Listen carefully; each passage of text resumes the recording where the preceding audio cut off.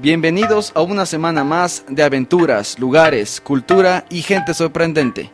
Sí, porque en esta ocasión y de la mano del Congope, los llevaremos a conocer la cultura secoya, habitantes milenarios de la provincia de Sucumbíos, más precisamente en el cantón de Xuxufindi. Y como no nos gusta perder ni un segundo, empecemos. Ecuador está lleno de paisajes grandiosos, lugares mágicos dentro de un territorio pequeño pero diverso. Los ríos de nuestro país lucen cubiertos por un halo de encantamiento. Uno de los ríos que forman el sistema hidrográfico de Sucumbíos es el Aguarico, que atraviesa la provincia de noreste al suroeste. El corazón natural de la región es el río Napo, uno de los principales afluentes del río Amazonas. El ritual de ir y venir de sus aguas junto al horizonte forman una hermosa postal de belleza paisajística que queda alojada en lo más profundo de nuestras miradas. Años atrás, el río Napo era navegable para barcos de gran calado. Sin embargo, en la actualidad, por disminución de su caudal, es posible navegar en canoa y lanchas de motor en la parte alta de la ribera. Volvamos con Elías, verdadero guardián de la selva y su gente, para conocer más de su lengua, su cosmovisión, su familia. Bueno, nosotros componemos de 500 habitantes. Vivimos aquí en la parroquia San Roque, provincia de Sucumbíos, río Aguarico, Xuxufindi y río Eno. ¿De dónde Eh, viene esta comunidad? ¿De esta dónde viene? ¿Cuál es la tradición, la vea, historia? la, la clave de este pueblo se encuentra en el centro de Siecopay, está en Lagartococha. Estamos aquí a unas 50 o 60 kilómetros de aquí. Entonces, hacia abajo y hacia arriba nos encontramos aquí casi en el centro de la nación secoya, antigua, porque nosotros, nuestros pueblos se encontraron en Lagartococha primerito. De ahí se expandieron hacia arriba y hacia abajo. ¿Y ustedes tienen alguna teoría de dónde vienen? Bueno, ¿De dónde esto, vendrán? mira, eh, la teoría de lo que ellos vinieron, que quiere decir que nuestra leyenda dice que el Paina sacó a los Siecopain de la tierra. Hubo El un, Paina eh, Paina ¿quién es? el dios, el, El dios. el supremo. Entonces él abrió, había un hueco y la gente vivía subterráneos, los Siecopain. Entonces él entró y los sacó de allá y la gente salieron con colas y de los colas, colas. él los sacó, le quitó la cola y le botó a la selva y ellos se fueron los monos, se fueron los diferentes monos, pequeñitos y grandes. Y dice que ahí fue el centro de que Dios creó y a los Siecopain dejó aquí en la Amazonía. Y nos enseñó a, a hacer hamacas, a tejer eh, esos oh, exprimidores de yuca y nos dio semilla, el, el maíz, todo lo que tenemos, plátano.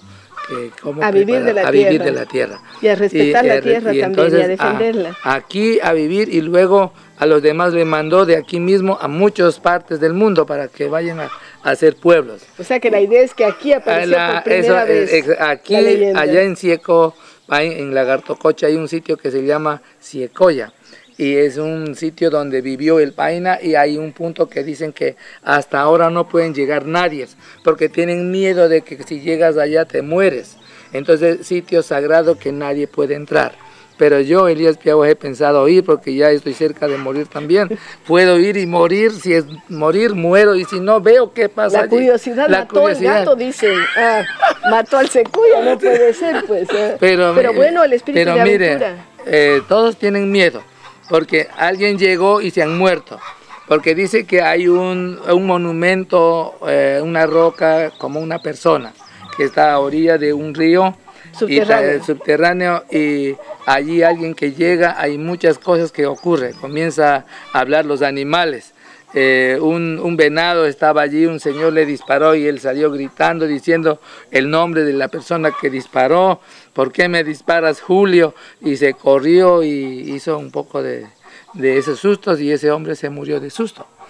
Y entonces volvieron al tema y ocurrió otra vez, ahí entonces en cambio ya comenzó a, a- a temblar los pies, no regresaron y quedaron enfermos. Entonces viendo eso la gente dijeron no vamos a molestar más este sitio porque allí vivió el Paina y no podemos cruzar. Hay un sitio sagrado en, en el Perú eso, después de la Gartococha. También. Entonces, pero mi idea, eh, con mi hermano Celestino hemos dicho, ¿por qué no vamos nosotros? Eso puede ser cuento, leyenda, algo misterioso, pero podemos llegar a ver ese sitio que sacó Dios a todo el mundo. ya nos contarás si sales de allí. Sí, y si, salgo les voy a contar, pero todos ponen o pues, tienen miedo hasta la vez mucha gente y me dicen, no te vayas y que algo ocurre y ahora, ¿qué hacemos? perdemos un líder, perdemos una familia. ¿De, qué, vive el pueblo Secoya? El pueblo Secoya vive de cacería, de pesca, de venta de turismo y labores así. Agrícolas, también ahora, como, ¿qué es lo que cazan? ¿Todavía siguen cazando? La cacería se había disminuido enormemente ahora. Eh, se caza más ahora a los gurres o armadillos, las guantas, los venados, eh, se caza las aves, ¿Y qué pesca? ¿Y qué pesca? La pesca, aquí hay eh, bagres, ¿grandes? De los grandes de, 15, 20 kilos, es bastante, 30 kilos, sí. Algunos llegan hasta quintales. Entonces de eso se vive. Entonces eh, esto fue muy rico, muy rico, mi doctorita, en peces, en, en, animales, en todas estas selvas. Por eso mi pueblo ha vivido millones, millones de años, no han muerto de hambre, porque aquí era fuente de vida.